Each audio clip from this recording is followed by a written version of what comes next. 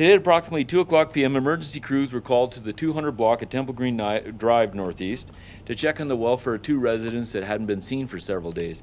Uh, when we entered the apartment, we discovered uh, two deceased people, a man and a woman, both believed to be in their 30s.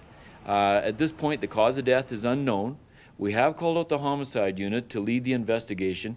Uh, so the homicide unit and the medical examiner's office are currently at the scene, and we're trying to do a few things. We're trying to uh, number one, establish the identity of the people that we're uh, that we're talking about, and two, see if we can figure out what the cause of death is because we really don't know at this point. We don't know exactly what we're dealing with yet. Like I say, clearly we have a man and a woman, uh, both adults. Uh, they were found dead inside the apartment.